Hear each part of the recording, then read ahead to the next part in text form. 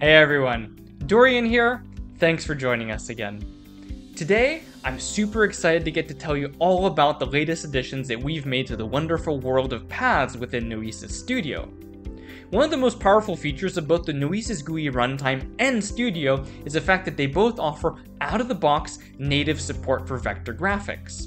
What this means is that when building your interfaces, you can take advantage of many of the amazing benefits that vectors offer, most notably infinite scalability without any loss in fidelity, more granular and more precise customization of visuals, and the ability to dynamically drive shapes in a highly flexible, non-destructive manner. Now before we take a look at our features, let's take a very brief moment to touch on some important framework terminology.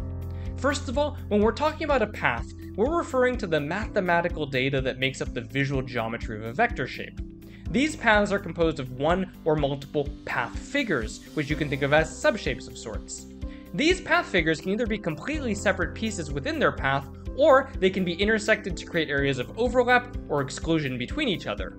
These path figures are made up of path points and the path segments that join them together to create either open or closed path figures. Within Noesis Studio, we offer three different ways to enjoy these vector graphics. First, we'll cover our supported import features, which will allow you to bring in already made pieces of vector artwork from many of your favorite external editors straight into Noesis Studio. Next, we'll take a look at our native shape elements, some of their unique features, and how they can either be used as is or as a starting block to edit and customize further. Lastly, we'll take a look at our native path tools and how to draw with complete freedom from scratch.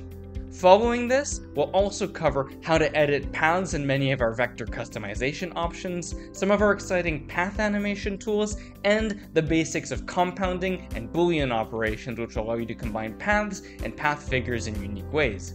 So without further ado, let's get started. If you do most of your design work within any number of external graphics editors such as Illustrator, Figma, or the Affinity Suite, we're absolutely thrilled to offer two different methods to easily transform your artwork into fully usable vector interface graphics within Noesis Studio. The first is that we quite simply allow you to use the copy-paste function to bring in shapes from your favorite design tools directly into your studio project. It's as easy as that. The second method is if you prefer to import from an SVG file, you can right click either in the navigator or directly on the stage, and from the context menu's edit section, you can select import SVG paths, select your file, and this will then copy an instance of your SVG onto your page. Now regardless of the method chosen, many of the supported external editors do have a couple settings that need to be adjusted first.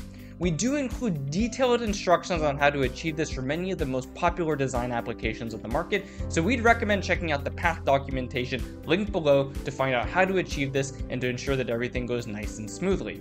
Within this same document, you'll also find a table of the features that we support across these vector editors. One of my personal favorites is if you put the time into naming all of your layers in the source file, these will also be conserved when brought into Noesis Studio. Another great way to leverage Noesis GUI's vector foundation is to use the shapes found in the Add Element panel. So, what's so cool about these? Well, firstly, many of these feature fully dynamic, non-destructive procedural properties built right in. These allow, for example, to customize the point count of a star, the roundedness of corners, or to completely change the proportion of the shape.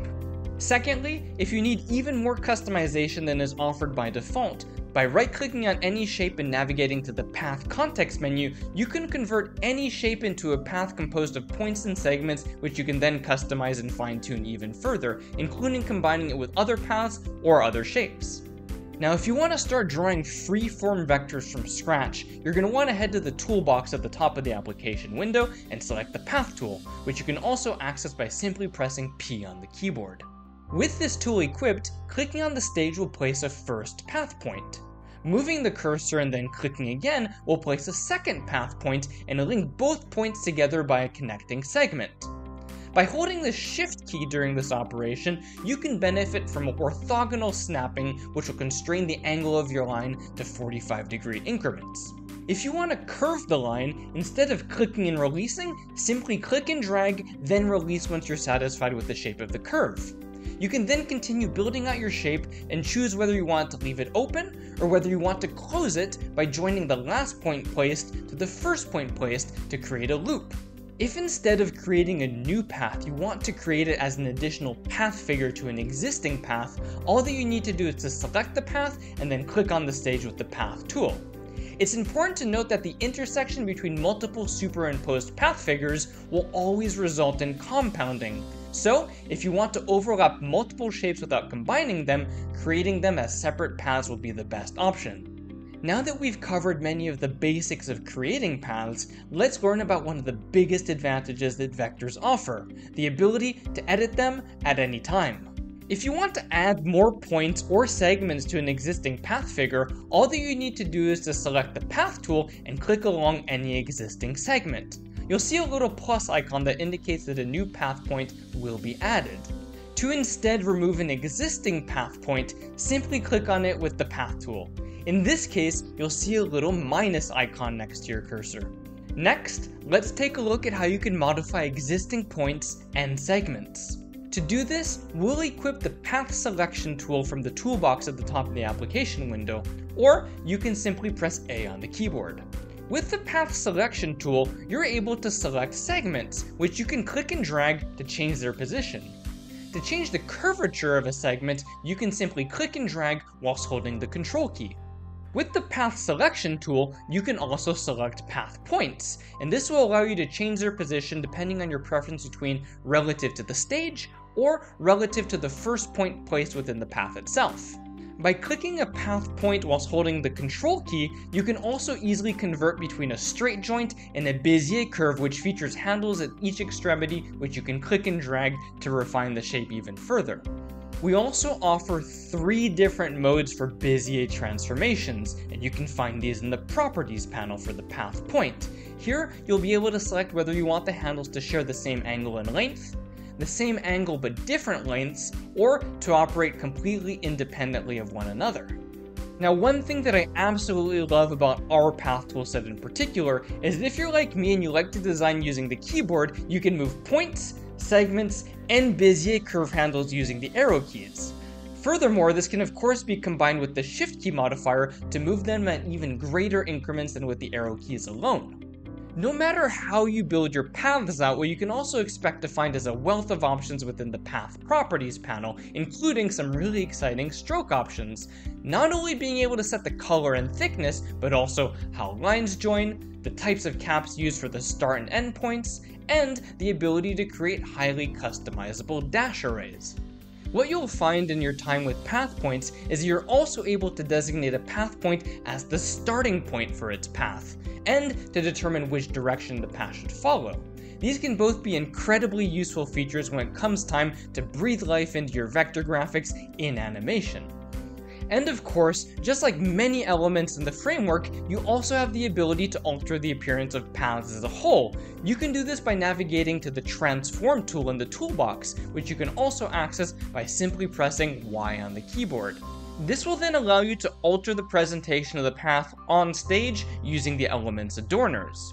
As this uses the render transform method, naturally, this is also something you can access via the render transform section of the path's properties panel. One other super useful feature is if you want to make the result of your adjustments the new permanent baseline for the path, you can flatten it by navigating to the path's Flatten Transform context menu option. Where things get really exciting is that everything that we've covered in terms of manipulating path points, segments, and paths as a whole does not just apply to static artwork, but many of the things that you'll find in the Path Properties panel can be used in animation. And just like with the rest of our animation system, it couldn't be simpler. All that you need to do is to adjust the path either on stage or via the properties panel, and as long as you're in recording mode, any changes made will be keyed. Now on top of all this, what's also really exciting is that within Noesis Studio, beyond just being able to manipulate paths themselves, we also offer three different ways to use them in combination with other elements. Firstly, you can use a path to mask objects on the stage. This can be achieved by holding the Shift key and selecting both the path and the element you wish to clip, then selecting Make Clipping Path from the Path context menu options. To reverse this operation, you can then simply select the Release Clipping Path context menu option. To combine multiple paths together into a single path of multiple path figures, the two paths that you want to merge can be multi-selected by clicking on them whilst holding the Shift key, then selecting the Make Compound Path context menu option. What's great is this is a non-destructive action, and it can be reversed at any time by instead selecting Release Compound Path from the Paths context menu. And last but not least, we're absolutely thrilled to offer Boolean operations, which provide an even higher degree of customization into how multiple paths are combined between each other. Paths can be multi-selected by clicking on them whilst holding the Shift key, then selecting any of the Boolean functions from the Paths context menu between Unite, Subtract, Intersect, Divide, and Exclude.